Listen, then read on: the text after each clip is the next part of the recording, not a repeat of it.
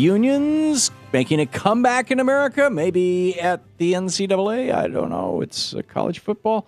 Uh, the the uh, National Labor Relations Board has approved approved a petition from a group of Northwestern University football players who said that they wanted to form a union. That they're actually employers of Northwest or employees rather of Northwestern University. Uh, the university controls the hours that they work. It's it's the hours of a full time job. They control the conditions and the terms and the place, and they be, basically meet all the definitions of an employee. Now, so far, they're not asking for money. In fact, we don't know what they might be asking for. In fact, so far, they haven't formed a union, but they have the right to begin the process, which can be an arduous process. And then if they get one, there's speculation that perhaps they'll be looking for things like health care. Who knows? But uh, James Sherk uh, is with us. He is a senior policy analyst in labor economics at the Heritage Foundation, heritage.org. And I'm curious. Hey, James, welcome to the program. Thank you. I'm curious your take on this, other than, you know, well, I don't want to put words in your mouth. What's your take on it? Well, I, I think the, the notion of unionizing college sports is pretty absurd. Uh, I think it would devastate uh, the sports as we've known it, and it would just be an absolute mess. But uh, college the, sports are a big hand, business. I mean, you've got you've got college. You know, back forty years ago, you had college uh, uh, coaches who were making thirty-five and forty thousand dollars a year. Now you've got coaches who are making millions. You know, I, I do agree. The NCAA ought not be allowed to uh, tell colleges that they can't uh, pay their players. These uh, players bring in millions for their schools, and if they want to sign licensure deals you know, with outside companies, or if a school is willing to uh, pay them a salary to uh, play at their team, they ought not be allowed to forbid that. I, I agree that it's it's pretty absurd that they say that the these athletes who bring in millions, tens of millions, in, in some cases, uh, for their schools can't get compensated. I, I just don't think that uh, unionizing college sports would just make a, a mess of things. So let me get this straight: you agree that they're employees? I agree that uh, if they want to license their image, I agree that if they want to uh, go, you know, if a, a, college is willing to pay them, the college ought to be allowed to pay them. Right. So you agree that they're employees, but you don't think employees should have the right to unionize. Well, I think that uh, if you take a look at uh, the NLRB jurisdiction, they only cover uh, private sector workers. So anyone in a state school uh, wouldn't qualify. And anyone under this interpretation who doesn't get a scholarship also doesn't qualify. I, I think uh, unionizing, you know, what would that be, a third or so of the, the players in college sports, while the uh, the other two thirds would not be. Uh, on top of which, uh, you isn't. wait a minute, isn't Northwestern a state school? Oh, it's not. It's a private no. school. No, no. It's a, uh, they would have no jurisdiction if this were a, a state school. I see. So Michigan State. So Northwestern can do it, but MSU can't. Exactly. Uh, you know, my uh, I, I'm a Michigan fan, and uh, you know, it, it was our breaking loss. But you know, that said, they would not be eligible. Well, let's change the NLRB rules. Then.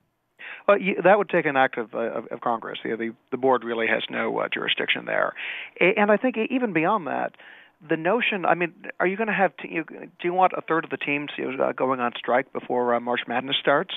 Are you going to have you know, college students if that's what it takes for them to get treated fairly yeah, I think there's another road to this. Uh, there's an antitrust lawsuit uh, being waged against the NCAA right now as we speak, and we'll see how it shakes out. But uh, I think a, pretty good uh, reading under antitrust law would be that they're not allowed to tell the colleges they can't compensate the workers. Well, big league football has an exemption from uh, the NFL has an exemption from antitrust, do they not? Uh, NFL does. NCAA does not.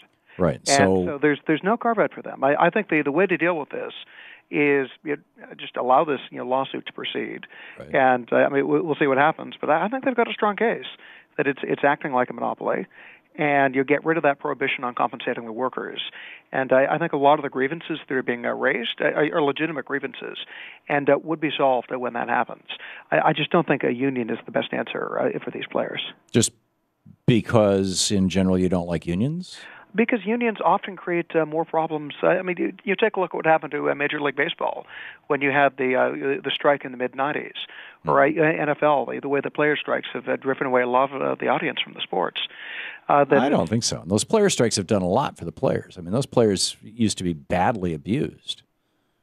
Well, I would. They're doing uh, much better now if you take a look at the you know the overall audience and the attendance of the game to the like, uh, for the the overall game, I, I the NFL is doing great. Come on.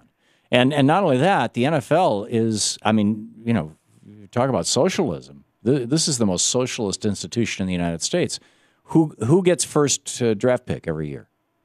Uh, the the team. Look, I, I mean, look, I, I don't think uh, you ought to have an antitrust exemption for uh, for NFL, and I, I think the notion. I agree with you on that. Nonprofit is uh, is frankly quite absurd, and, and taxpayer dollars certainly should not be subsidizing the construction of uh, of these stadiums. I mean, they're they're a profitable industry, and they ought not be coming at yeah. the end of. Why should George Bush make make 14 million bucks on a $700,000 investment just by basically hustling a city. I mean, this is you've got uh, owners. All, well, here, here's another thing that, that, that, really blows my mind. I, you know, I think the Packers are the only reasonable model in the entire country where you've got basically the community owning the team. It was originally the Meat Packers Union, and but but every place else in the country, it's like you got to find a billionaire to own a team. This makes no sense to me. No, I, I mean it's well, what I find again, you, you look at Minnesota, where you've got the, uh, the the teams coming to the legislature and saying we want a new stadium. You know, give us more tax dollars. I mean, that's you know these are, are quite profitable teams, and if they're right. if they're not profitable, why should the taxpayers be the one you know, having to cough up more in terms of their property taxes or their sales tax to fund this? I mean, it's it's it's a kind of cronyism that uh, really ought not. So let's do away with the antitrust exemption for the NFL, and let's change the rules so that so that uh, local communities can buy the teams that are in their communities, and and that way you're not going to have you know billionaires playing towns off. Uh, you know, hey, you know Brooklyn, if you won't give me a new stadium, I'm going to go to Los Angeles. If by local communities you mean individuals and not the, the city government, yeah, I, I don't think having that's what I'm talking about. You know, yeah, uh, you, have got go people all over Green Bay who owns, you know, and they've been passing the stock down on their family for four generations. No, by all means, go for it. I, I think that's a, a great model. I, I, I have uh, friends who uh, whose family own uh, you know, Packer stock, and they're they're never going to sell that, and they're very proud of it. And uh, I think you know, that's a much better model uh, than the taxpayers being told, "Why don't you cough up money in order to uh, to fund these, uh, in many cases, quite profitable franchises?" Right. So, so back to the back to Northwestern University. In essence, your argument is these guys are employees. They should they do have legitimate grievances that should be addressed, just not via the form of a union. Well, I, I wouldn't. I know. I, right now, I'm not sure if you can you know, qualify the the scholarship as being an employee. I wouldn't quite. Well, it's a thing of value. But I, I think the school ought to be allowed to, you know, if if you can recruit someone, and you, you say you offer them fifty thousand, hundred thousand a year to you know uh, play on your college basketball team because they're a good player.